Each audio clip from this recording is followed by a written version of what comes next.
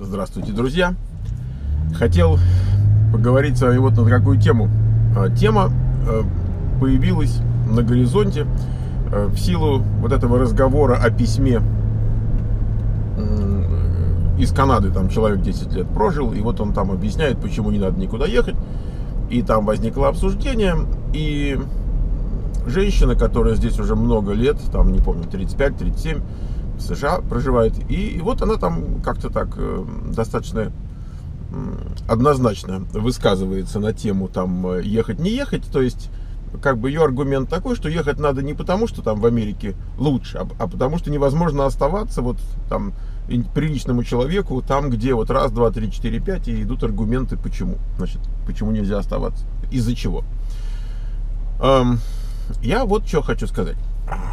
Мне сейчас вот 59, а впервые э, разговоры типа вот ехать, не ехать, оставаться, почему и так далее в моей жизни возникли, когда мне было лет 14. Э, вот тогда стал реальным э, выезд в Израиль 14-15, эм, и не то чтобы кто-то там из наших родственников, таких близких, там собирался или интересовался, но были какие-то люди, которые, может быть, были не такие близкие, которые вот, уехали, и это с так, шепотом, это вообще боялись даже вслух сказать, что какие-то, пусть даже дальние родственники, время было в этом смысле строгое.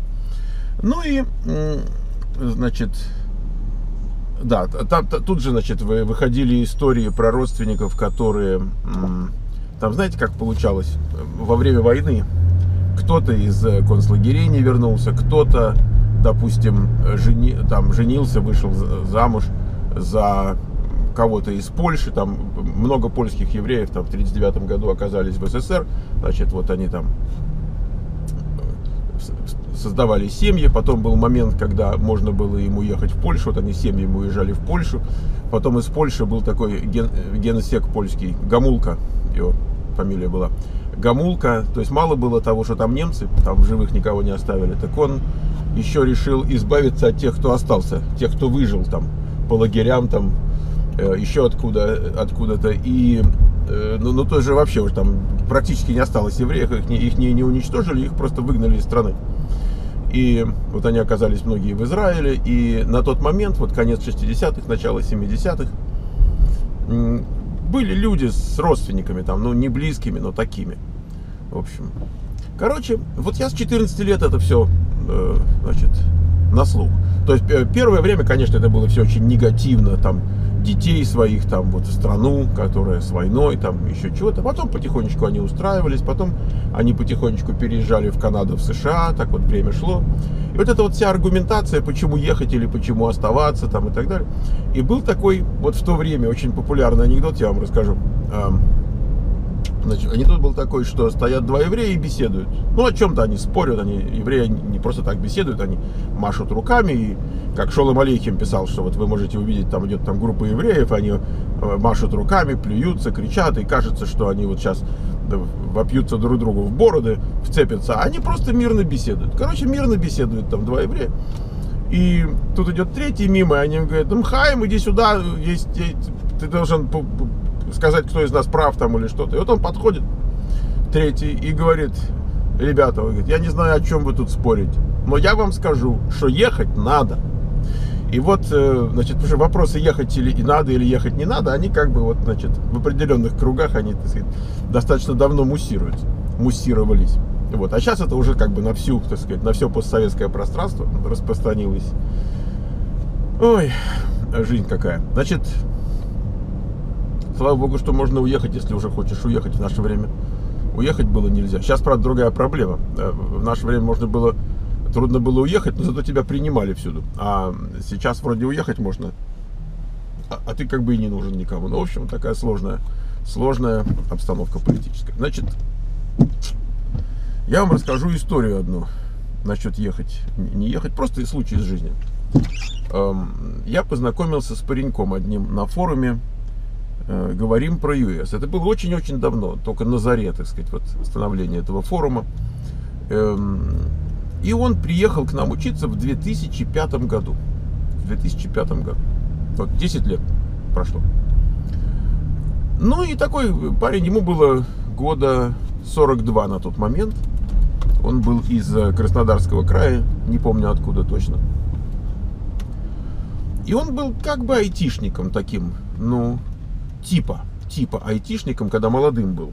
Потом его эти коммерческие всякие дела увлекли, он занимался тем и этим.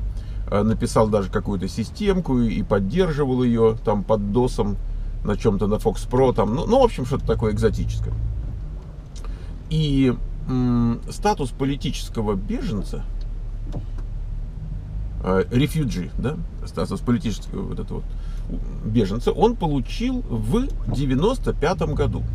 В 95-м. Э, в то время это было, вы не представляете, как, как это было просто. То есть надо было, ну, не в тот же день, а так скажем, за какое-то время до того, нужно было приехать в Москву к американскому посольству. Там стояли такие ящики. Вот, значит, ты брал такой application форм, заполнял ее и бросал в этот ящик. И в какой-то момент тебя вызывали.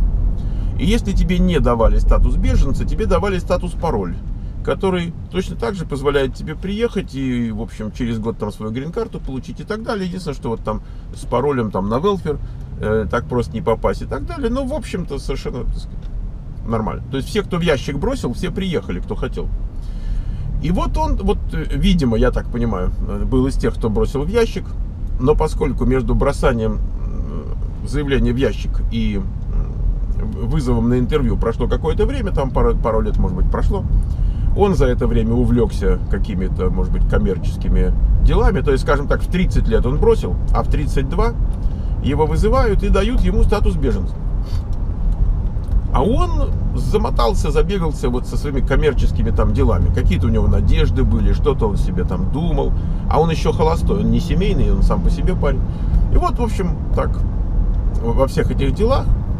И представьте себе, что в 2005 году 10 лет спустя получает он письмо из американского посольства. Хорошо, что нашли. Может, он адрес не менял, не знаю. Получает он письмецо такое, что уважаемый товарищ такой-то, э, вы тут 10 лет назад у нас числите в беженцах. И если там до такой-то даты, там, ну я не помню, несколько месяцев ему дали, вы не отвалите э, в Соединенные Штаты, то мы ваш статус беженца аннулируем, поскольку надоели вы нам хуже горькой редьки. Ну, в общем, так я вот от себя. Вежливо. И тут, э, поскольку ему уже не 32, а уже 42, и он даже, трудно сказать, может быть, ему жалко было потерять что-то такое, чего у него, может, ему сердце грело, я не знаю. Ну, короче, он приехал. Вот он на форуме «Говорим про ЕС» меня нашел, он к нам приехал. Это был э, первый человек, который приехал вообще с форума. Я с него даже денег не брал.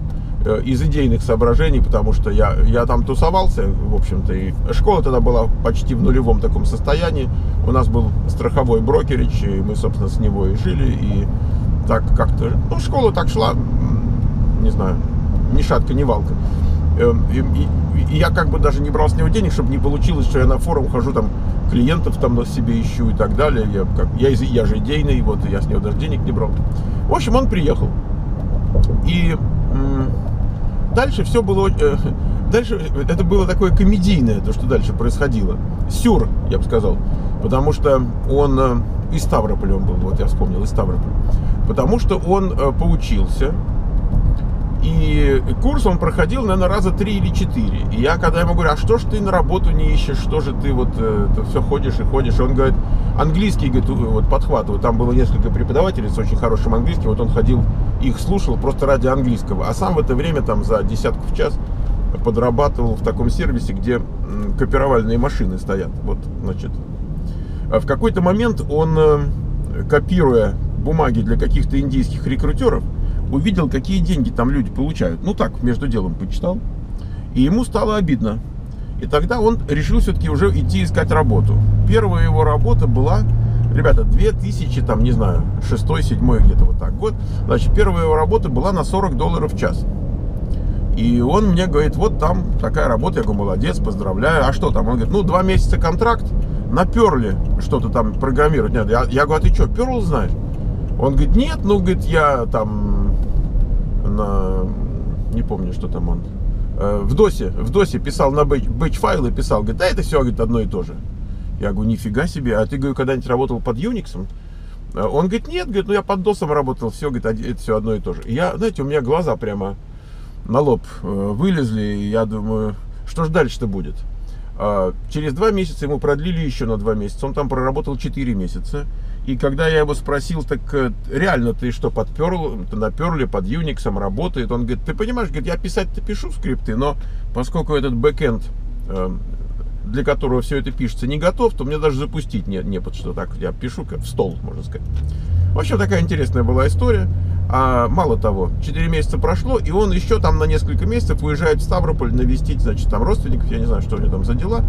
И, и я прямо, знаете, как в белой горячке, я говорю, что ж ты делаешь? Я говорю, это же момент, это же ты не можешь уехать, ты должен новую работу найти. Да, не, говорит, уехал.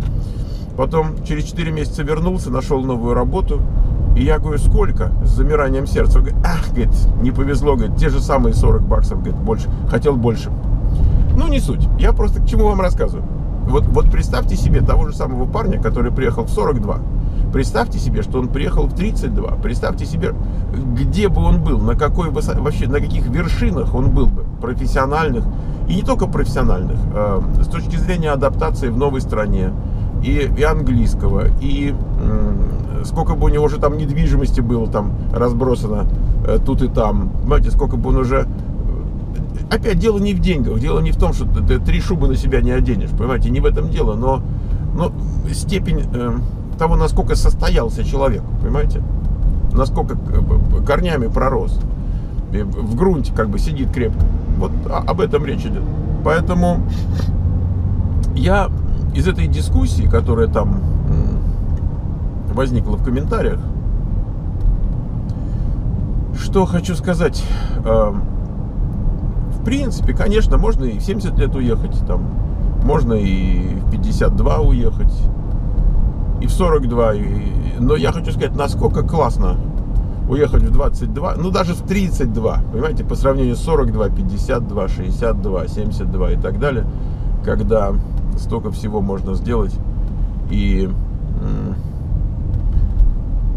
Поэтому я, я считаю, что важно, важно помогать э, людям разбираться вот в этом вопросе. Мне говорят, э, если у человека возникает вопрос, ехать или не ехать, пусть сидит дома и никуда не рыпается. Это, конечно, но, но я считаю, что всякий человек разумный. Э, у него есть сомнения.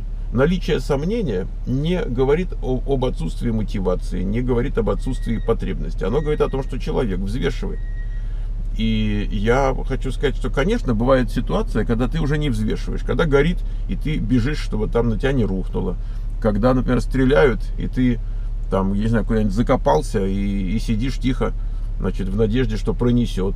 Ну, ну, у Жванецкого была такая, что хохмочка, что вот, мол, мы мало там в жизни, люди друг другу мало сочувствуют, мало милосердие. И вот он говорит, вот если бы все на мине подорвались, он говорит, ну так об этом же можно только мечтать, понимаете? Это, это у Жванецкого, это не я говорю. Так вот, эм, к чему я говорю? Не надо ждать, пока мина рванет. Понимаете, вот если мина рванет, конечно, тогда проще. Понимаете, самое простое, когда мина рванула. Понимаете, когда повестка там в какую-нибудь организацию, там еще чего-то, и сразу раз, там чего было в карманах, и на границу. Конечно, так проще. А, а если у человека нет вот такой, вот такой ситуации, то он взвешивает, он смотрит, у него, ну как бы, есть чего терять. И мы смотрим отсюда, и мы держимся за животы трясущиеся и говорим, что у него есть терять, что, что у него есть. А у него другого нет, а это его, понимаете? А вот, вот у него вот это есть. И оно ему дорого, потому что у него есть, у других нет. И вот там, где он живет, это очень даже ничего, относительно. Понимаете? Поэтому Эм, нет задачи кого-то мотивировать там на отъезд, не дай бог. Пусть человек живет там, где ему комфортно и, и все.